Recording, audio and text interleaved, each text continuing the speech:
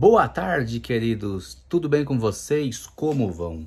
Meus amados irmãos, na tarde de hoje nós vamos reagir a uma entrevista a qual a pastora Fernanda Brum deu no SBT.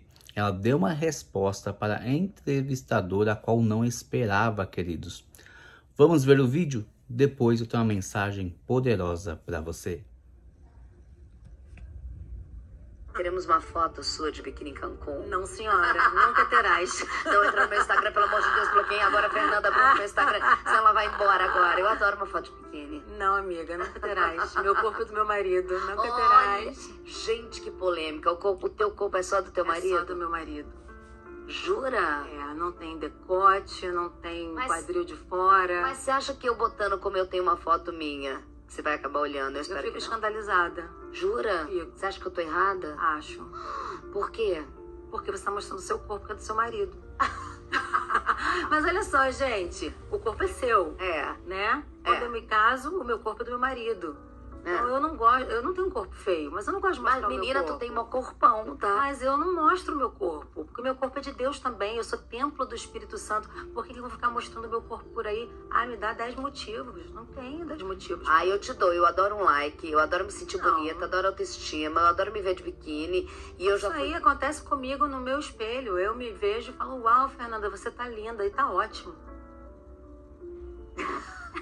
Concorda em discordar comigo, querida. Por favor, bloqueia a Fernanda no meu sistema. Ai, eu já te vi. Ai, eu adoro botar o meu popozão pra jogo. Não, amiga, nunca terás aqui. Mas você me julga?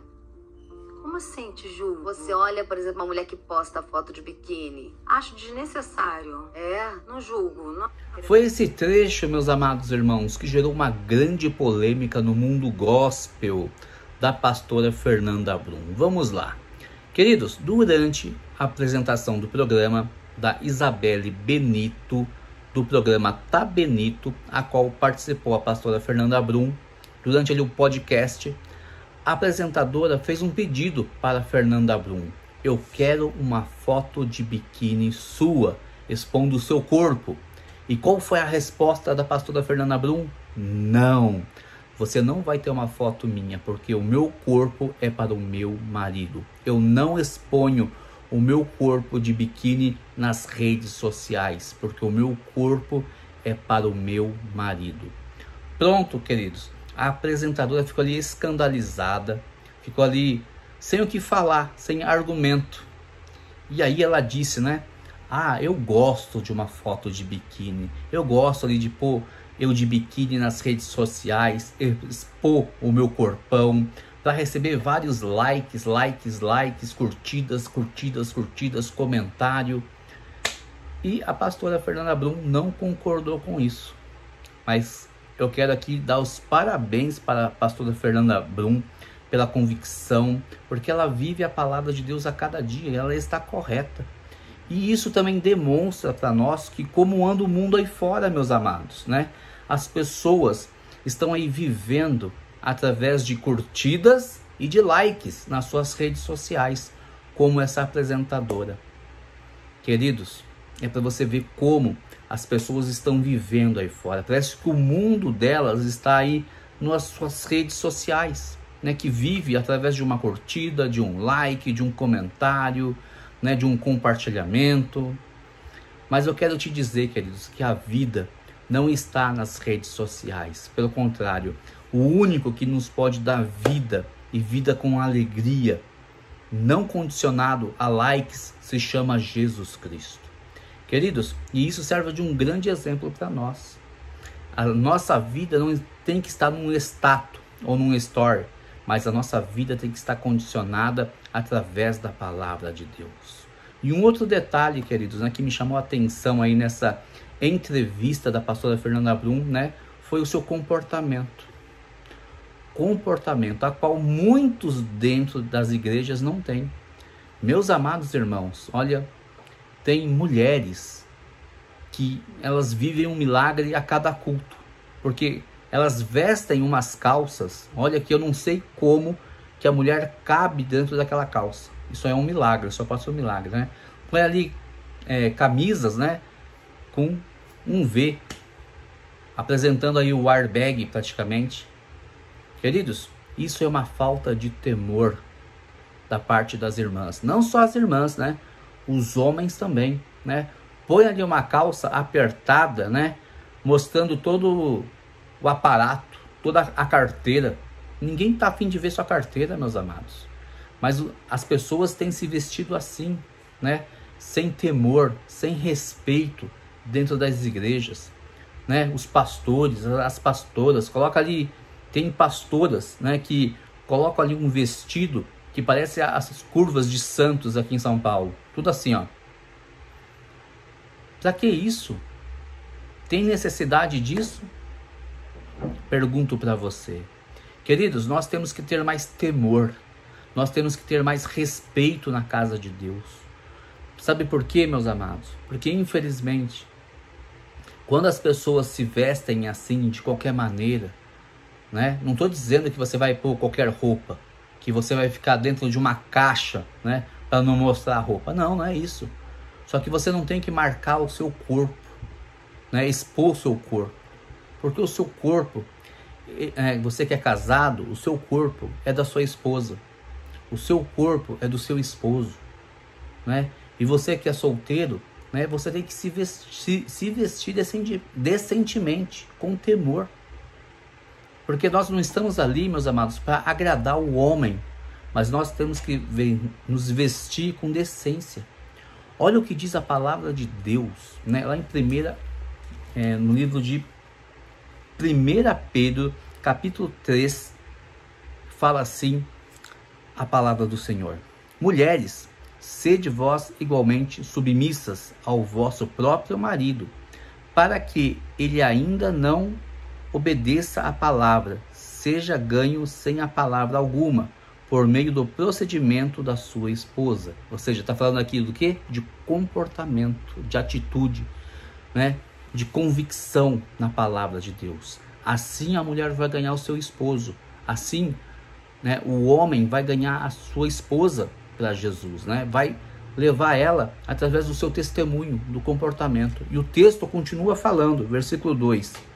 Ao observar o vosso honesto comportamento cheio de temor, não seja o adorno da esposa o que é exterior, como frisado de cabelos, adereços de ouro, aparato ou vestuário.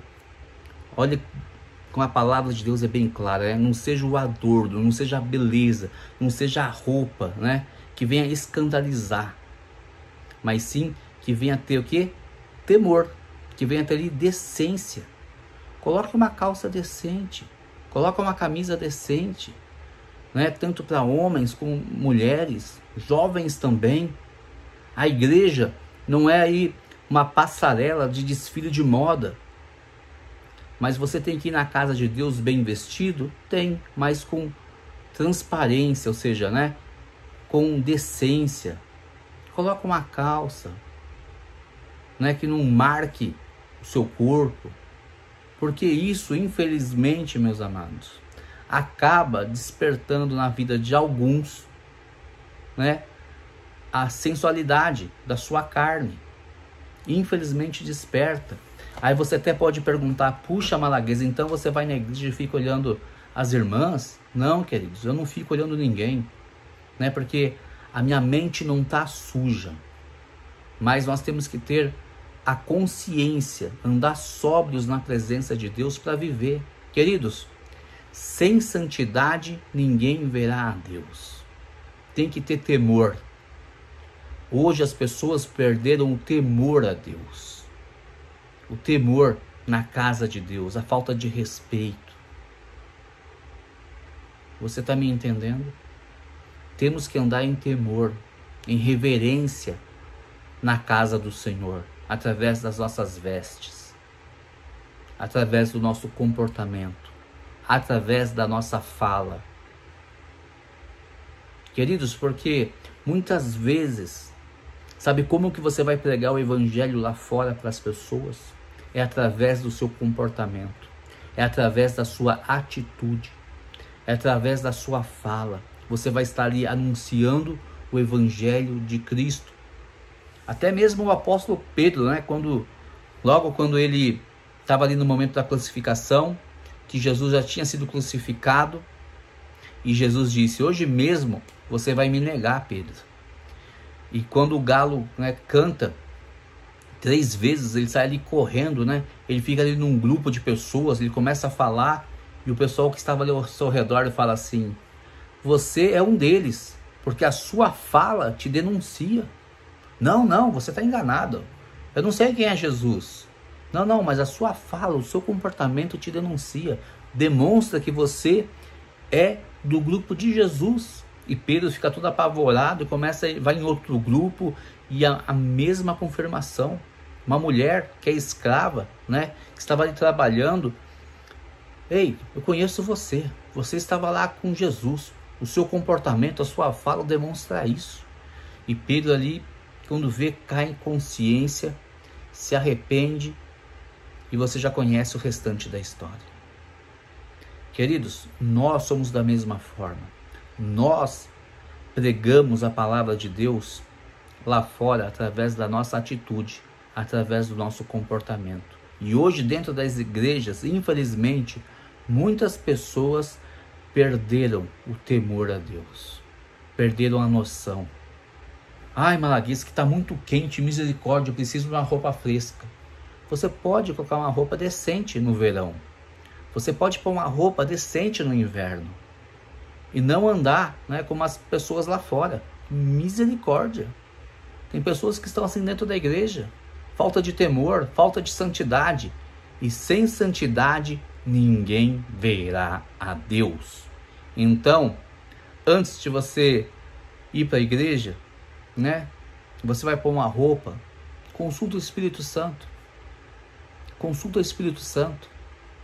Será do jeito que você está se comportando? Será que do jeito que você está se vestindo hoje, você receberia uma curtida de Deus? Você receberia uma, um like do Espírito Santo? Qual seria o like, hein? Qual seria o comentário que Deus é, colocaria ali embaixo nas suas redes sociais? Qual seria, meus amados? Pense um pouquinho aí. É essa mensagem que eu tenho para você hoje. Que Deus te abençoe. Eu gostaria de saber a sua opinião. Deixa aqui nos comentários. Deixa um like no canal. Que Deus te abençoe até o próximo vídeo. E uma observação. Sejam muito bem-vindos aos novos inscritos aqui do canal. Que Deus te abençoe a ti e a tua família, né? Convide mais pessoas para fazer parte aqui dessa família do canal Miro Malaguês. Que Deus te abençoe a ti e a tua família e até o próximo vídeo.